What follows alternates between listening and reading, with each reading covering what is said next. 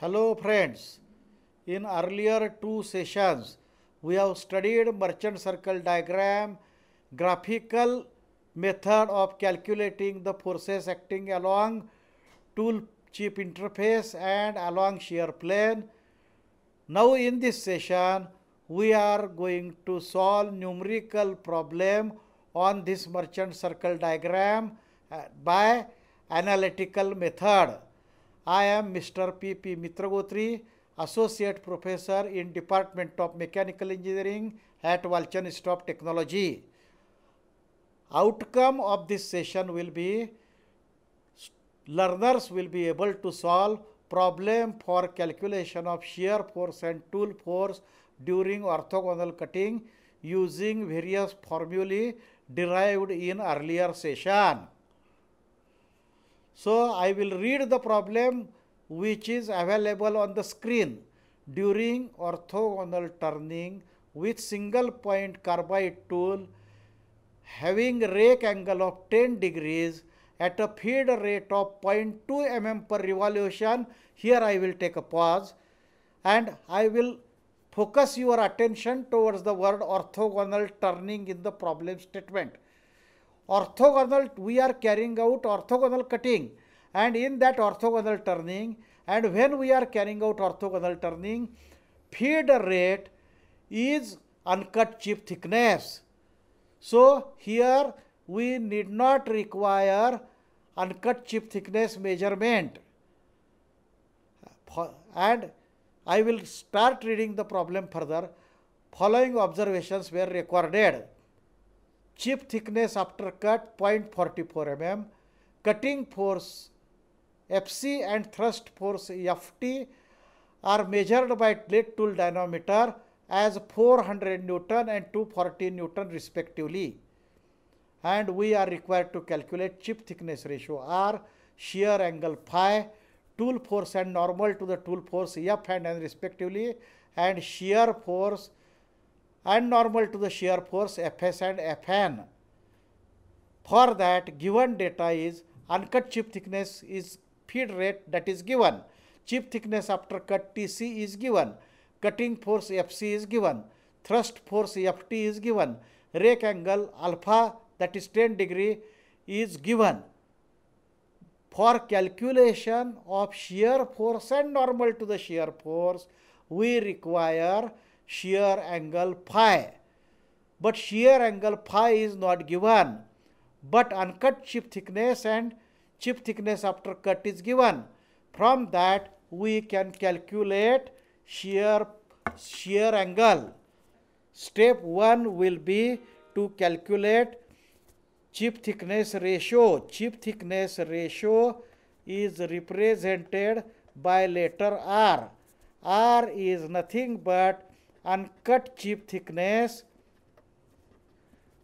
divided by chip thickness after cut. chip thickness after cut as it is given 0.2 divided by 0.44 which comes out to be 0.45 it doesn't have any unit as it is a ratio now once we know r we can calculate shear angle phi by the formula phi is equal to tan inverse of r cos alpha where alpha is rake angle divided by 1 minus r sin alpha. We know value of r, we know value of alpha as 10. So by substituting these values, equation comes out to be tan inverse of 0.45 into cos of 10 degrees divided by 1 minus 0.45 into sine of 10 degrees. By calculating it with the help of calculator, value of phi comes out to be 25.89 degrees. Now we know all the entities. So we will start calculation of forces acting along the tool face. The forces acting along the tool face are tool force F and normal to the tool force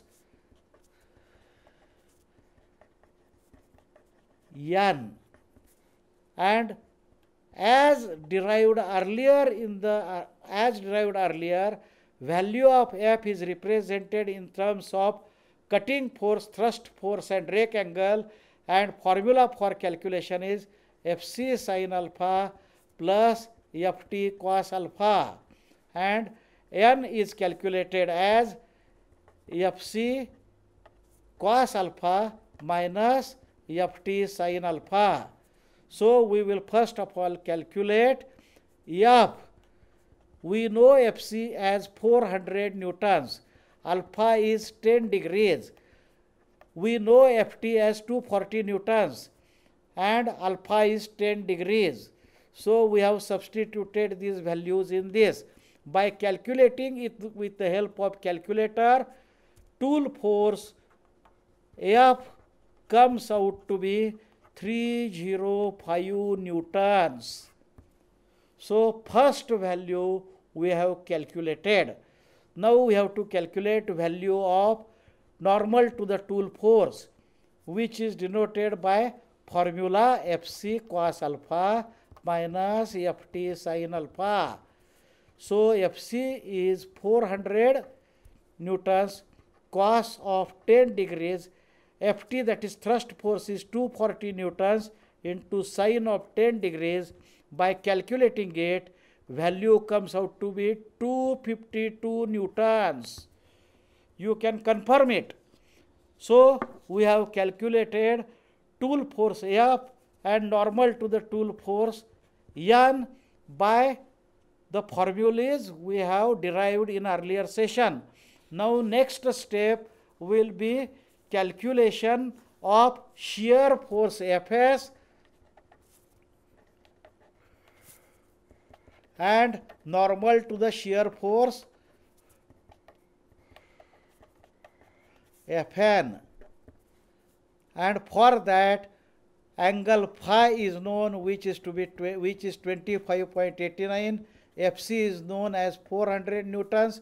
Ft is known which is 240 newtons now for formula for calculation of Fs is Fc cos phi minus Ft sin phi.